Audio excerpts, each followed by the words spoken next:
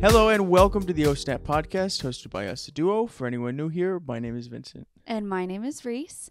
And today we are going to talk about our photography stories. These are not horror stories. They're not like uh They're for educational purposes. Yeah, you know, they're good stuff. We realize that we do tell you a lot of horror stories from online and other um, people in the industry um, and just stories in general. So we thought we That should. we're going to flip the script and tell you our stories instead of somebody's stories a thousand miles away in Iowa. Correct. Some are, the majority of them are challenges that we have experienced. Um, And boy, have we experienced them. this is going to be a good one. Yes, sir. Okay, but first, But first, we are doing a giveaway. a giveaway, everyone. You guys better be already entered into the giveaway if you want to win a free couples shoot. How do we do that? We go to our Instagram at SNA double P D U O.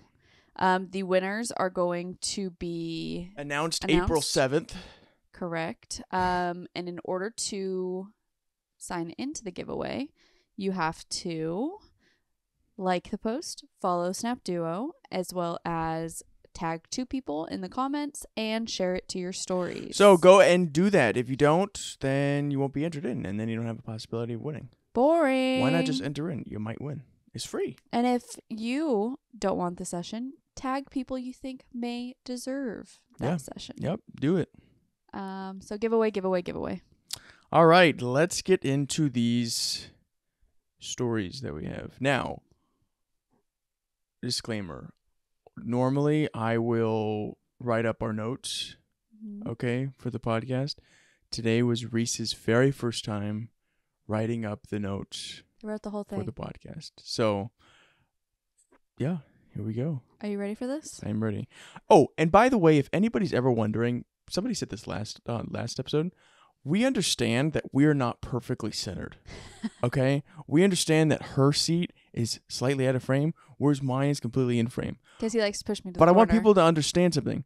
There's a door right over there, and there's a little like hallway right there, a little alcove. So if we make it to where it's centered, there's going to be the ugliest like dark corner over there. That's why it's not perfectly centered. He's not putting baby in the corner. I'm not putting baby in the corner. So There you go. just as a disclaimer. All right, Okay. So, can I begin or would you like to begin? go ahead. Number one, uh, we once shot an elopement with two week notice. Um, and the process of that was kind of crazy. We were in Santa Cruz for a wedding and we got a inquiry, I think it was on Facebook. Yep. Um, of somebody that needed our help.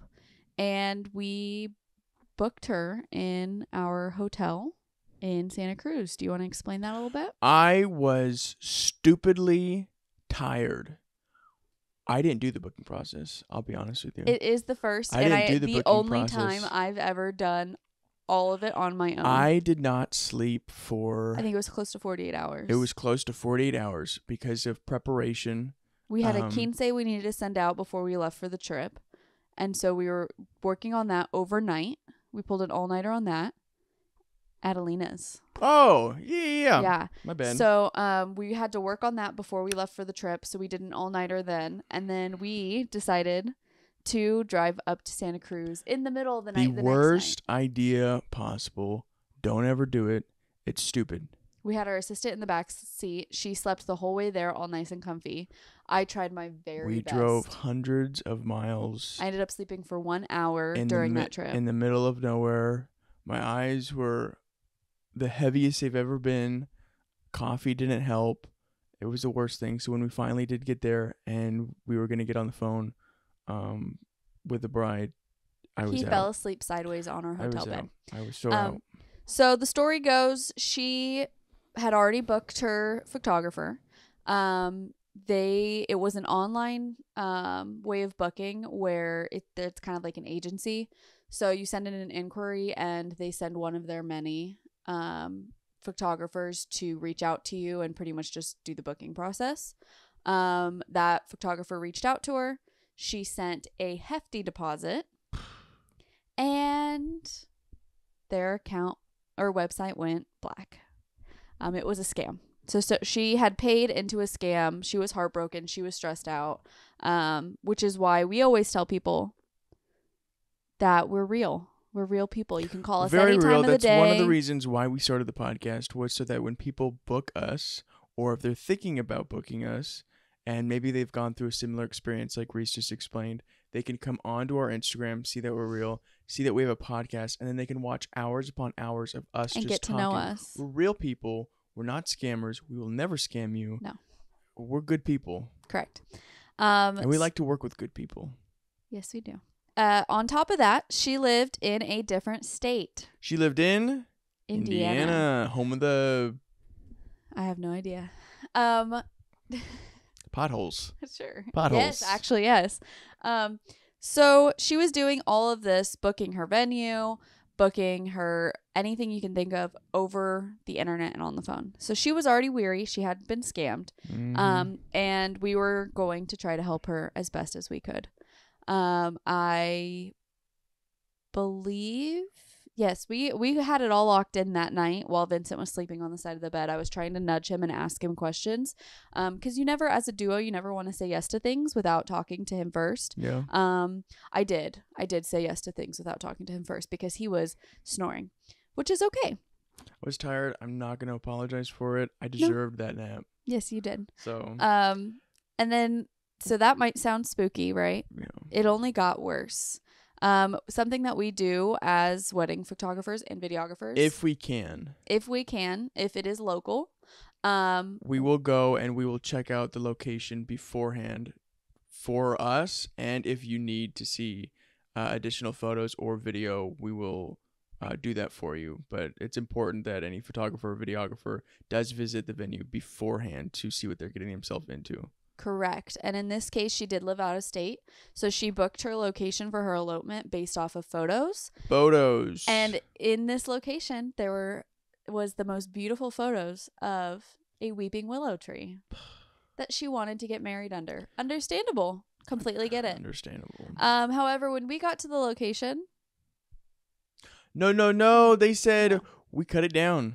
cut it down like a year ago, and we were like, mm, They cut the weeping willow tree down, but they kept multiple different ugly trees. and they said we have this one that's growing. It's a baby, and it looks like a weeping willow, No, it and we're didn't. it was literally like a tree branch. yeah. So Um. She was very upset, to say the least. she's very upset, but we ended up making it work. Um, we got everything that she wanted. Her photos came out beautiful. She was so thankful for the video because um We had a medical emergency they had a during medical the, emergency. the elopement, Yeah, and so they were thankful to be able to have that to look back on. but that is a, a a story of learning lessons. Yeah. Um. The weeping willow was a big one, so that is why we do what we do, and we go and tour locations. It's important to do so. If you're not, then you're not doing it right. Don't be So lazy. it. Story number two. Yes. Family of 30 plus on the windiest day in California Not with, exaggerating. with 20 plus children. Yes. This was our first year in business. Um, this family had uh, t- over 20 tiny little kids. Uh, I would say eight and under. Um, Now just imagine 20 little kids running around and then you have to try to get their picture with everybody smiling at once. I'll tell you, it didn't happen. it's not that easy. The kids were very well behaved, Yeah. but they're kids. You know, they're they are kids.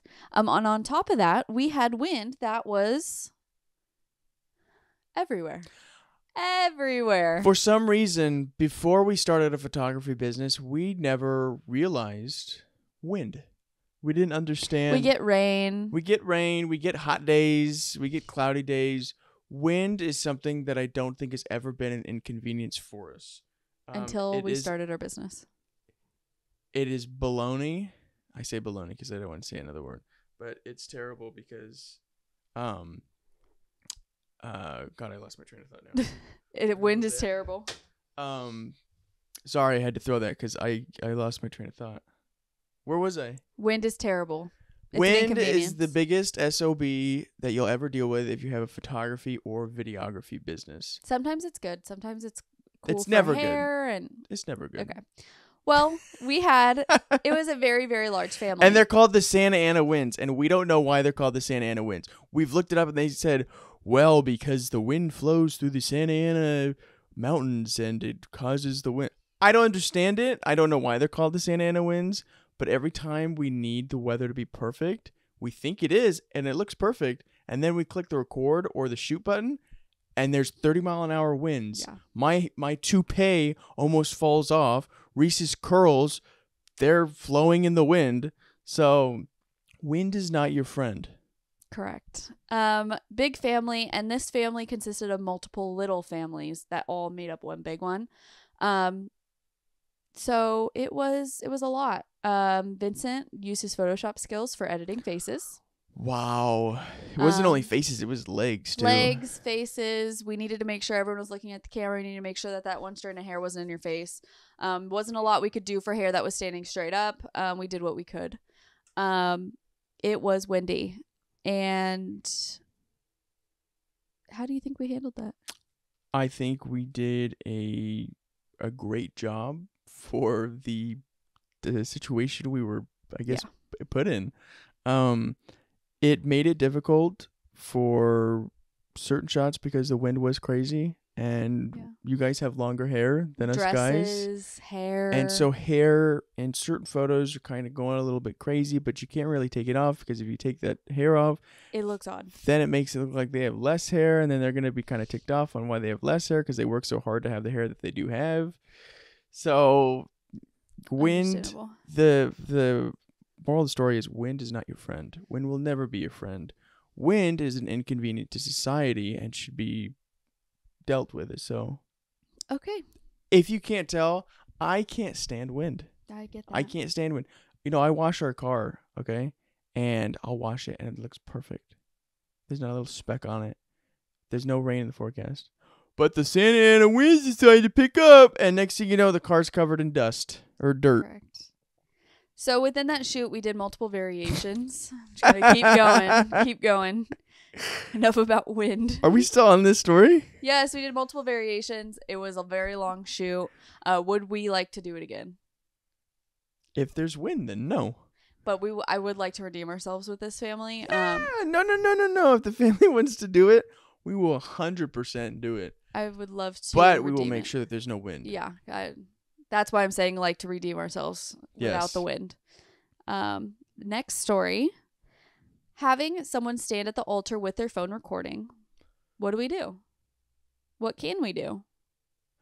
ideally what i'd like to do is is what i think we're going to do is we're going to hire um two security guards and when we see people with their phones out we're going to tell our security guards to escort them out. Wouldn't that be amazing in a perfect world? Uh, that's what i In the middle of a, a ceremony. And would we say like at the altar with their phones? I mean, they're not sitting in a seat. They like walked around the whole literally thing. it's like this. Do you have your phone? Here. Okay you're the you're the bride i'm the groom. We're sta- we're sitting like this. Go ahead and look at me right. Okay so this is the shot that we get. Imagine that.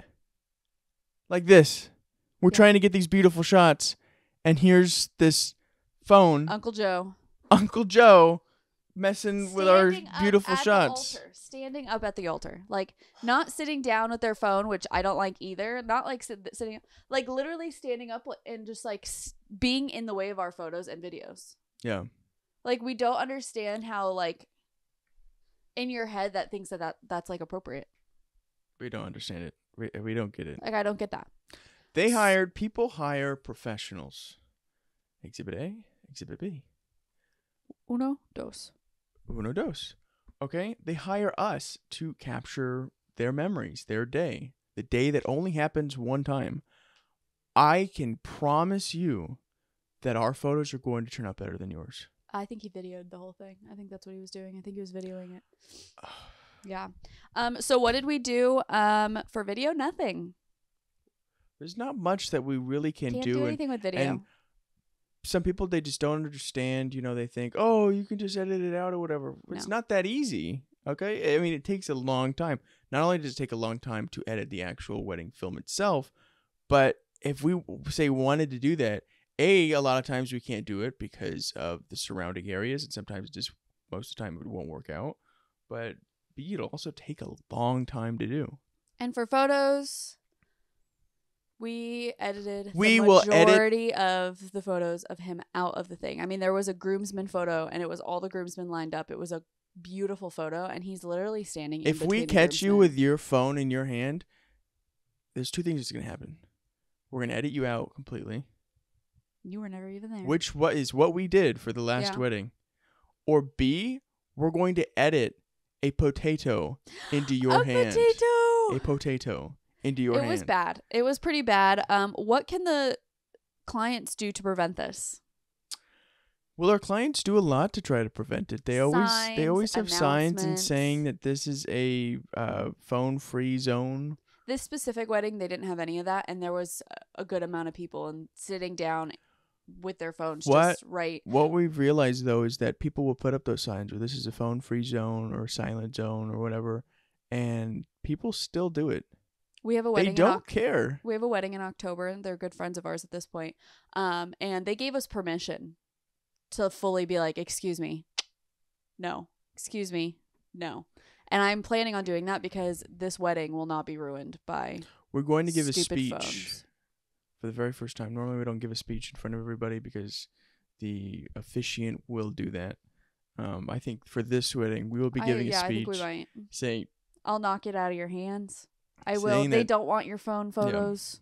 they don't. I promise. No. Okay, next. We're on four. Yeah. Maternity session at the beach with high tide. Multiple other photo shoots happen happening around us. What do we do? So this has happened, I think, at three separate maternity photo shoots, And we do the same thing every time. and it's for some reason with maternity, the tide just loves to go high. So what we've done to prepare for that is we actually every time we have a beach shoot, we always bring a blow up boat.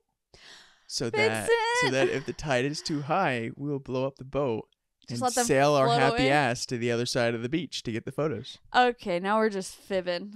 Yesterday was April Fools. Oh, Okay, so poor dad. I got all these things going on in my head right now. For like three hours straight, we're just sending my dad's different stuff, and he'd get like really mad about the certain. he told us he wasn't gonna believe us. He's like, "You're liars. I'm not believing you anymore." he was so mad at us. Okay, that's not what we do. We will just make it work. we don't bring a blow up boat. We work around other photographers always, as we hope they will do for us. Um, and high tide, that sucks. There's nothing you can do about it, but we just have to find our little section of the beach um, with the best space to work. Um, we make it happen. Uh, is it annoying? Yes. It only happens to our maternity clients. For We- some reason, our senior sessions, beautiful day at the beach. Maternity clients, you can barely walk. You're gonna you're gonna go back into the ocean. We the work fish. around it every time. If there's people in the background, we'll get rid of the people. Goodbye. I don't care what you're doing. We'll get rid of you. Um, we still get the most beautiful shots. Yeah, we don't get to go specifically where we want to go, but we still get the shots that we want to get. Yeah, always. Um, we just make it happen. We make it happen, Captain. Uh, all right. Are we ready for story number five? Yes, I'm so sorry, everybody. I'm texting my grandmother. Can I read number five? Yeah. Okay. Event where husband said, Ooh, that is a nice hobby. While we were taking, while we were working our asses off pisses me off. and just came back from up north shooting a wedding. How did we feel? Horrible. Pissed off. Wanting to leave. This doesn't happen as much as people think, but when it does happen, it sticks. Um, for some reason, people think that photography or videography is a hobby, and the reason that they do, the people who say that, is because they had tried to do it, weren't good at it, and so now they just call it a hobby. We've had a lot. And it, I'm just gonna put throw this out there. It's always the husbands that are like, "Oh yeah, I have a camera," and we're like, "Oh really? Like what kind of camera? Oh yeah, I gave up on it." And it's like, okay, that's cool. and then they want to tell us all about their business that they are they do or what who they work for and it's like all right that's great this is our business you know what i mean We've had yeah, we've had we're not disrespectful to you about your business we were doing a wedding, um, the last wedding that we did, and one of the bridesmaids, um, what'd she say? She said, uh, "Do you oh, do you work for the company, oh or she said do you guys work for the same company do you guys work for the same company?" I And looked mm-hmm. back at her and told her, "No, we own the company." boom so, i love when that happens but what you need to do is you just need to ignore the people who say it's a hobby, he whatever. literally no, but like it's we're doing though. a service for you and for you to us and be like that's a nice hobby But it's it's different. Though. I mean, look, he lives in his own world. He lives in his own bubble. So I It's understand. rude I know. Okay, but the purpose of me putting this one in here is how we reacted. We are always professional. We are never ever rude. No. It doesn't matter how, um, you know, if if somebody at an event or whatever maybe may get a little ticked at us or whatever, even though we didn't do anything. Yeah. Maybe they just get mad. Maybe they're in a bad mood that day. We don't know what they're going through. They could be going through something. We're always professional. We're always respectful. We're never confrontational. And when somebody says something like this, we always just brush it off. And then We'll get talk mad ab- when we get we'll talk car. about it after the fact when we're away. We'll talk about Yeah. it to one another. We're in a relationship, okay? So we're going to talk to each other about things like that. But we are always professional, and it's important to always stay professional in those situations. We never knew it got under our skin. That's okay. That's okay. And we're allowed to be upset. That client was fired. Yeah, well, bye. Bye bye. You're fired. We one of the few that we've ever actually fired as clients, but it's okay.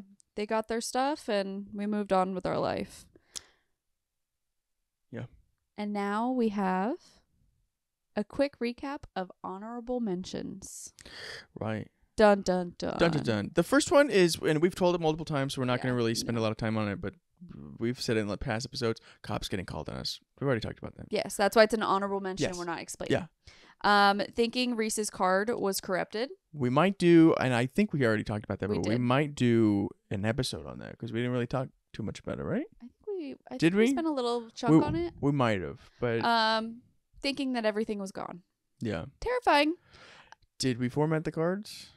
No. No. Why? Because we couldn't. we didn't I- know what was on what. Woo! Um, getting yelled at by a park staff for touching fruit, Fruit that was on the ground. And it wasn't us that touched Fruit it. It was that a little kid. It was a little kid. Fruit that was dead on the ground. It was orange groves, and the little kid literally touched the fruit. Like I mean, like barely touched it, and we got yelled at in front of our clients, and that's just rude. Don't your job's not that serious. Thank you though. right. Elders being mad at us during family photos. We just we brush it off. It again. happens. Yeah, it happens all the time. Respect your elders. Yeah, we're used to it. Yeah, never gonna be rude to them. we just let it we let them just take it out on us i think someone's told me once you're not very nice or it was something to that extent and i was like i'm sorry you feel that way all right smile Yeah, you know yeah. like you just keep it going you know there was one certain wedding and i think there was a certain elder that kind of kept going a little bit and the bride was just looking at me like i am so sorry Yeah. we don't care it's fine Moral of the story. Ooh, sorry. Moral of the story is that things are going to happen with whatever job that you have, but always make sure that you are uh, being respectful and professional yeah and just relax because everything's going to be fine.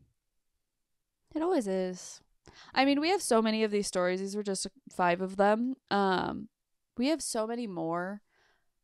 But I think that the the thing to learn from from each and every one is that all these people got their photos. All these people got their video if they were doing video. Everything turned out great. Um, and no matter what profession you're in, there's always going to be some bumps, wind, um not nice Mother people um scams but not from us um and we just work through them we gave the best I have the best. I I I've solved it. I solved the solution to how people can never get scammed. what Book with us. amen Book with us, and you'll never get scammed. yeah pretty much Guaranteed. Scam free guaranteed.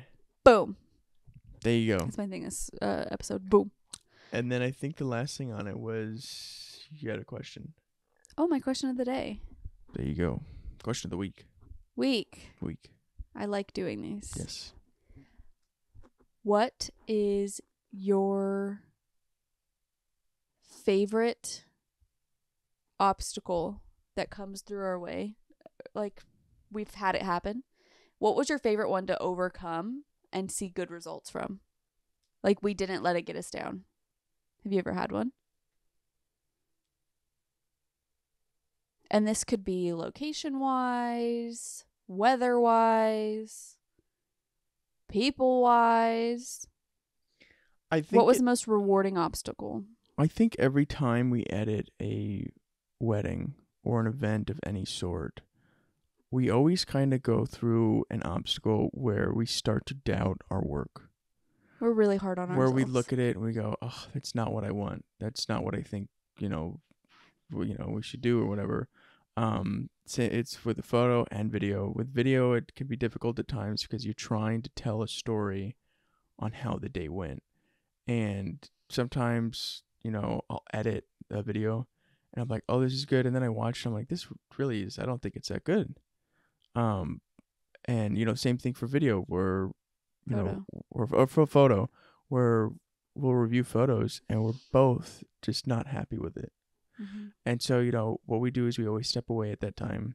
Oh, it's the number one key advice that we could ever give any Reese But- always wants to keep going. She always wants to keep going. because I'm. It's not a good trait for me Yeah, though. It's not a good trait for me whatsoever. But I'm the kind that's like I can't step away until I get it figured out. She always wants to walk away, and I always, or she always wants to stay there and edit. And I always tell her it's important to walk away. And I'm always thankful when we do. I mean. I I I will do that and I'll stay and like try and try and try. And then finally I'm like, okay, I'm done for the night or whatever. And I come back the next day and I'm like, what was I doing? Yeah. Like I stayed and worked on this for like 2 hours, 3 hours, and I don't like any of it. Yeah. And then I go in that next day with a fresh mind and I'm like, oh, these look so amazing. It's the best feeling to overcome that, though. Yeah. Is when we get the photos perfect sent out, we get the video perfect sent that out, and then it's like that stress that we did have is like a weight, and it just lifted off our shoulders. For any of our wedding clients, I just want you all to know, past or future, that after we send you out your photo and video, we watch those things and look at those things over and over and over and over and over again because we're so happy with them. So, like, we put our all into them, everything, and we won't stop until every single thing is perfected on them and we feel proud of the work we give right. you. We'll do that. Um, where we'll go over the photos, we'll watch the video multiple times, but after we send it out, I never watch the wedding video again. I do. I never watch it. I don't know. It's like a work thing where I don't know. I just don't want to watch it. I do. I I look at I'm very proud of the work. I'm very proud of it, but it I don't know. It's just like you know, we had it- it- one. for, to me, it's like it's like looking in the mirror and saying, "You look really good today. I'm very proud of you." You know, things like that. It's just Yeah. kind of like I I don't really want to watch it. I know it's good, but I don't. You know, we had one wedding video and they requested like a very popular song, um, like an older popular song, and now I can't even think about listening to that song. For the Thousand. Try not to get copy noted or copyrighted because I sound just like it. You know, I sing just like that. because he has to edit it. So Heart the same spots just keep playing over and over again. I mean, I'll put headphones on sometimes when he's editing videos because I'm like, I- I'm gonna hate this song. colors. But no, stop. I'm gonna hate this song by the end of it. And I used to love that song. Okay, I'm a Twilight fan. I can't stand that song Yeah. now. Um, that's the only thing I'll say is that I love to rewatch them, but if it's a popular song, it they get ruined for me. Ruined. Yep. What about you? What's what's the obstacle that you that we've had? I think it's it's along the same lines of when I get we get home from a shoot or a wedding or something and I put the SD card into the computer and I'm looking I I'll almost every time after a shoot I will pull a few photos and just start editing a little bit for sneak peek purposes and just to see how everything went. Um and when I do that and I start to edit I'm like mm, What always ticks me off the is lighting was just a little off here or I should have done this or dang Vincent we we could have done this differently or this is going to take me a while because I have to co- correct certain things. Um once everything's done and we're about to send out everything, um this could be from, you know, the simplest of shoots to, you know, whatever, but overcoming all of that and spending the hours and hours of tedious work in corrections um it feels good afterwards. That's like a "Oh, okay i got through that obstacle. I i was able to overcome it. I ha- haven't had one yet i think where we haven't been able to overcome it but it, it still feels just as sweet every time we what always ticks me off is when we think we get the best shot ever, photo wise, video wise, and then we get home and we look at it, and it wasn't the best shot ever. like in your head and It's the just a little, normal in the shot. little thing on the camera it's like this is gonna be a cinematic masterpiece But then we'll find other photos or video where we thought were just, you know, normal, and they ended up coming out beautiful. Yeah. So, just depends. I mean, you'll go through it if you have a photo or videography business, or even if you have any other kind of business whatsoever. You guys will always go through different obstacles. Um, but it's important to stay strong during those obstacles, and you guys will come out on the other side um, better than ever before. amen Amen to that. So I think that uh, wraps up this episode. Um, like Enter we said, giveaway. yeah, like we said in the very beginning, if you're not already entered in the giveaway, go ahead and do that. It's so easy to do. It takes probably less than 30 seconds to do, probably even 15 seconds. Yeah. Um, and you can win a free couples session. we So want you to win why not enter it? Yes You and know? if you don't want a couple session enter someone that deserves it Yeah. These are So- facts. Thank you. At Snapp Duo on Instagram to enter into the giveaway. You have until the 7th, April 7th. April 7th. We hope you enjoyed this episode. Make sure you like, follow, subscribe. Whatever it is that Vincent usually says. Did I get it? Yeah, if you're not already subscribed onto the YouTube channel, make sure you subscribe and hit the notification bell to get notified anytime we release a new video or episode. Uh, if you're not already following us on Instagram, make sure to do that, that at S-N-A-P-P-D-U-O and also follow us on TikTok, Facebook. That it? On that one? Mhm. Oh, and Spotify. Spotify. Make sure to follow our page on Spotify. Uh, we're doing pretty good on there. Doing good on YouTube. Doing great on Instagram. We're going up right now. So. Also, uh, we're filming this today and it's my mom's birthday. So happy birthday, mom. happy birthday, Mom. Whoop, whoop. Woo woo. So right. with that, we will see you next week. If you made it this far, we love you. We thank you, and uh, yeah, thank you. bye. Bye.